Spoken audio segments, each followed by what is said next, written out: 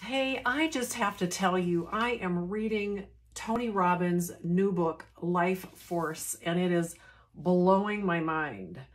Um, I should say that I'm also learning about cell signaling and what that is and how it impacts the body.